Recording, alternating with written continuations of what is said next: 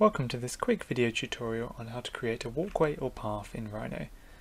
In this tutorial we're going to start by creating the path that we want our walkway to follow and here I've just created this curve line to indicate that. We're then going to create how wide we want this path to be so I'm just going to select the polyline tool, start drawing a line and I'm going to type in 3 meters to lock that to 3 meters and hold the shift key to lock that horizontally like so.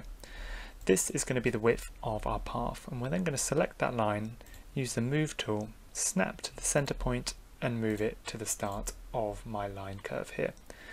Now before we create this into our path we need to check that our cross section here which is going to be the width of our path is perpendicular to this line. To check this quickly we just use the rotate 2D tool, rotate from the center to the end, snap it to the kind of edge of our line here like so and then hold the z-axis here of the rotate, hold your shift key and rotate it 90 degrees. There you can see it's slightly off parallel there, but we are perfectly perpendicular to that line now. Now we know we're perpendicular, we're now going to use the sweep command by typing in sweep 1 here, selecting the rail, which is this red line here, which is our path that our hammer will follow, and selecting the cross section, which is the blue line. Hit enter select freeform from here and just click OK and there we can create our kind of path flat shape there. Now we need to give this some thickness and to do that we're just going to select the path, type in extrude surface here and we'll extrude this by around 0.2 to give it a bit of thickness at the base. We can then delete that top surface from the piece here. The next thing we're going to do is create some handrails for this path. To do this we can select the first curve we used to make the original path from and type in offset to offset this line to the edges. For the distance here we're just going to select this point and here this point to give the distance to be exactly the width of the line which is in this case 1.5 meters. Left click to put it on this side and then hit enter to repeat that command and repeat it on the other side. So we end up with two lines, one either side of this curve, like so. Once you've made these, we're going to move these into position just by selecting the Move tool, picking a point at the end and making sure we're locking it in the vertical plane up here, like so, and then just typing in 1.1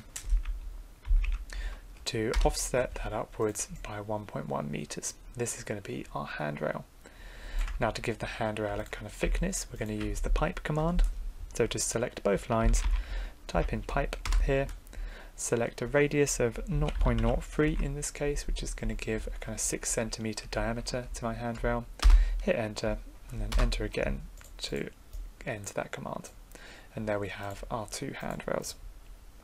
Now for the final point of this we need to create our railings for our handrails here, which we're going to do by just selecting the polyline tool, creating a line from here to the center point of our handrail, like so. Then with that line selected, we're going to use the pipe tool again. This time we're going to do a radius of 0.01, which is going to be a 2 centimeter diameter on this curve. Hit enter and enter again, and there we have our kind of handrail. Now for this railing here, we're going to create this into a block, so we might be able to then adjust it later if needs be. So we're just going to type in the block command, like so. For the base point, let's just pick the bottom point down here and we'll just call this railing. Once we've made that we can then array it along our path like so. I'm going to do this by using the array curve tool, select the railing to array, hit enter and select the curve which is this handrail curve that we're going to array it through like so. For the number of items we're going to do 300 items so array it 300 times and we'll hit enter there to array that.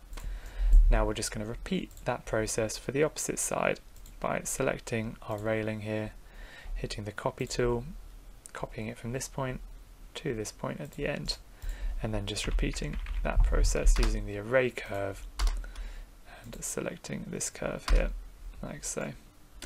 And there we have our walkway path with our handrail on either side. Now this piece and this kind of technique can be used for roads, it can be used for paths, anything that has a kind of continuous walkway deck like this and railings either side, this can be useful.